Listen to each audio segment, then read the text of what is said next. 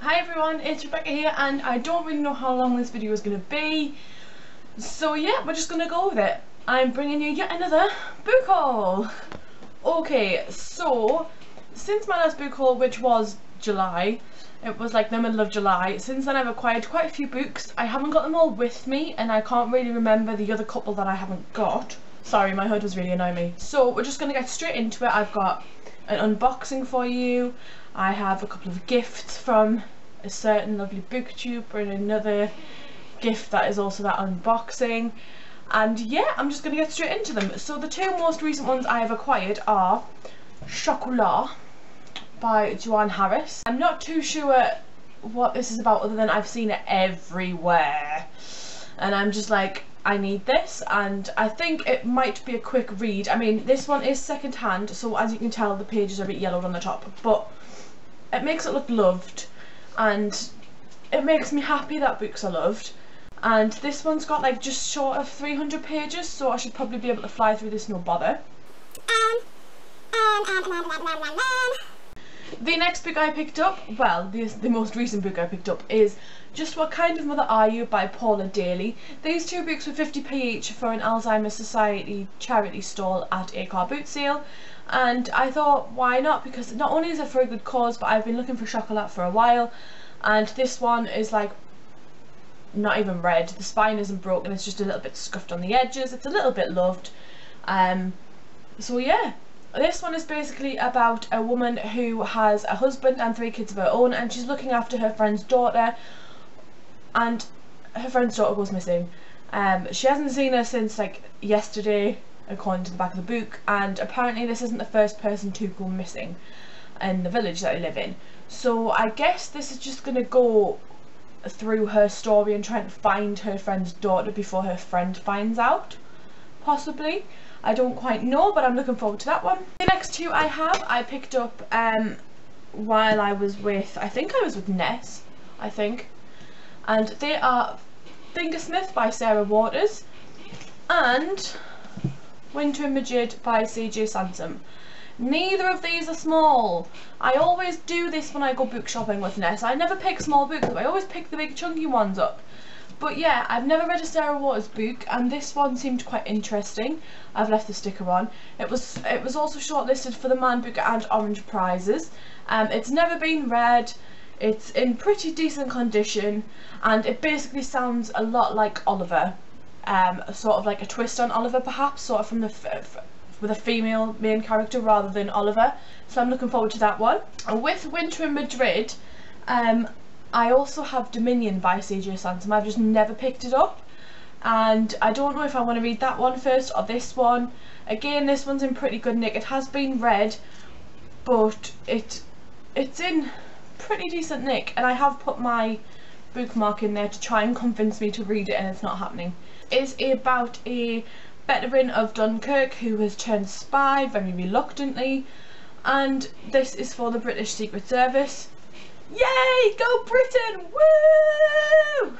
Um, yeah, he's sent to go to an old school friend or colleague um, who is now a, sh a shady Madrid businessman according to the back of this book and all of a sudden yeah it's it's it's just like there's loads of secrets and stuff like that and Sandy's girlfriend is an ex-Red Cross nurse and she's looking for her former lover um, and I don't really know why because surely if she's with him unless he isn't good enough for her or whatever I don't really know um, it seems quite like an interesting read and there are some good reviews for this on Goodreads so I'm hoping to get to this one soon as well this next one I may or may not have left the sticker on and that is Chat Talon by Julie Kagawa um, I know Ben from Benjamin of Tomes loves this book. I think it's this one anyway.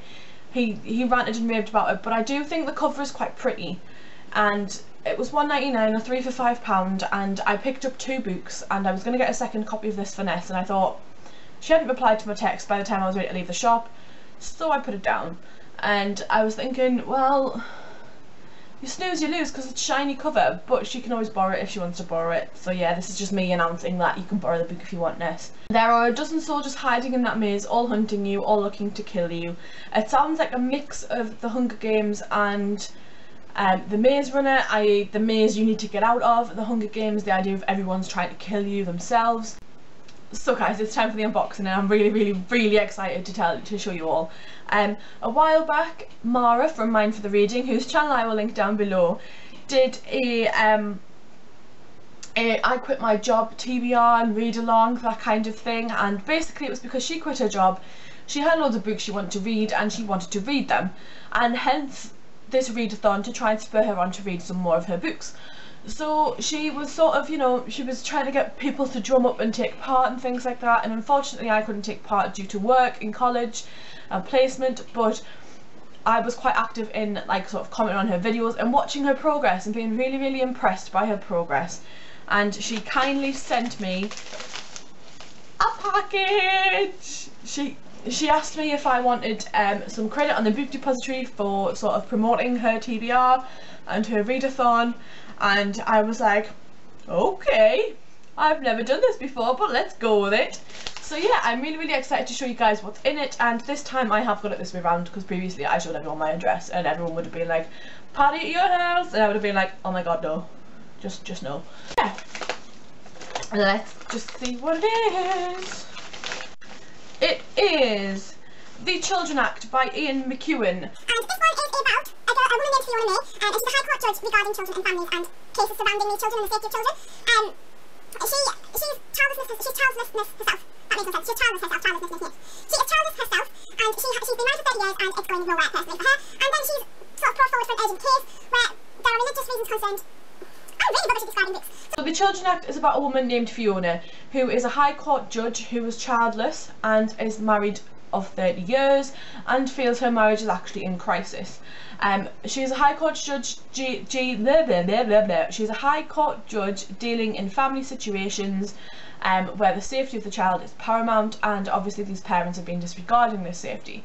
Now, this case, this urgent case, gets brought to light about a family who, for religious reasons, do not want their son to have treat medical treatment to save his life and this boy Adam actually doesn't want them himself. This kind of topic is something I would have loved to have read about when I did my degree because in my degree, my degree is in religion and theology and education.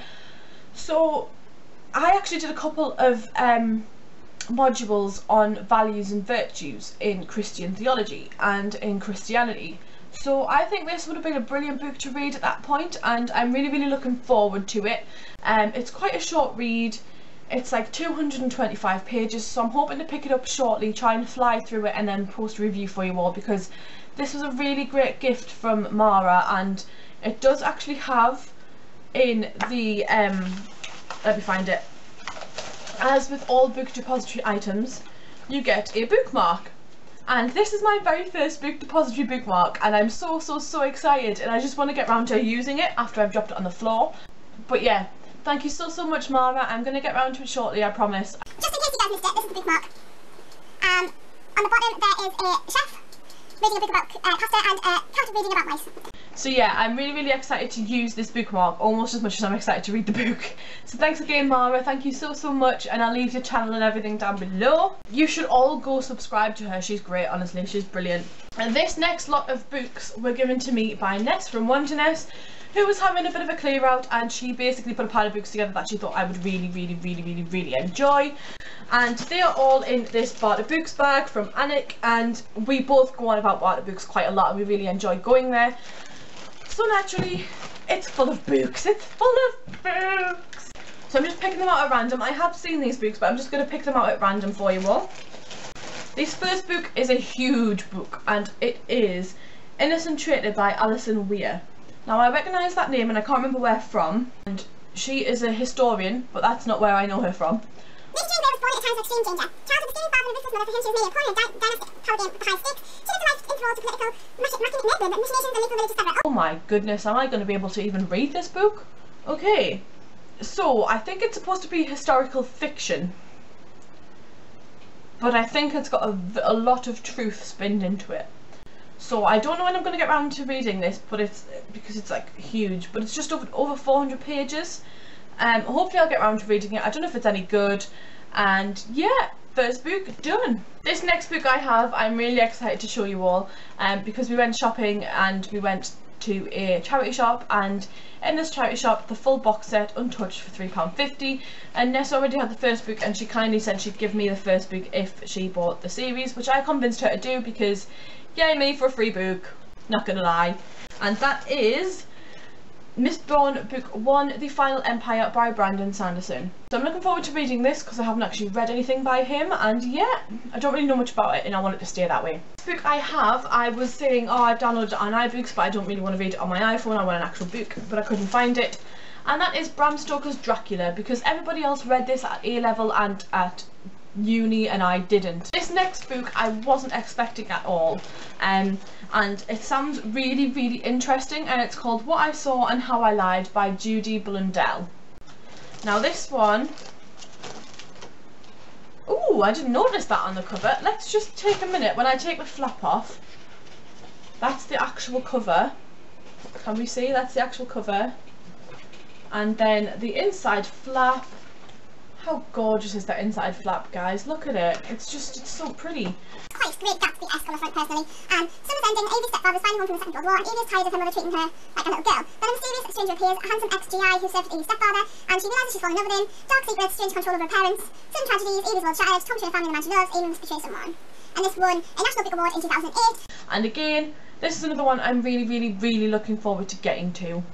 This is really sad. My camera cut off and I was filming my last book and that is really suckish. And I'd managed to pick everything up and everything. So let's go for round two. The last book I have to show you is Stolen by Lucy Christopher. I don't really know much about it other than Ness really really seemed to enjoy it and it's basically about a girl who was taken from an airport and apparently forced to love someone. And it's a letter to her captor so I'm presuming it's a letter format. I haven't actually had a look but I'm really really excited to get around to it because she kept asking me if I wanted to read it because I hadn't and I gladly said yes. And now we will try for round two of stacking the books. Because I'd stacked all these books before and they were all stacked really really nicely and I managed to pick them all up and it was great and then I dropped them all and my camera hadn't even filmed it. So let's see. Let's go for round two guys because look if I put this up like this I can I can do a chin rest. Should I just make this my thumbnail? No we need to do a proper thumbnail. So yeah these are all of the books I have bought since my last July book haul. Oh my goodness these are really heavy and I don't even know if they're all in shot but we're just going to go with it. Um, hopefully I'll get around to reading some of these soon because I am sick of buying books and not reading enough um, I'm on page like nearly I'm nearly up to 500 pages on a Game of Thrones when filming this so hopefully by the time I've actually put this up I'll have read some more. So yeah hopefully I can get through some of these as well. And I shall hopefully see you all soon with another video. Bye guys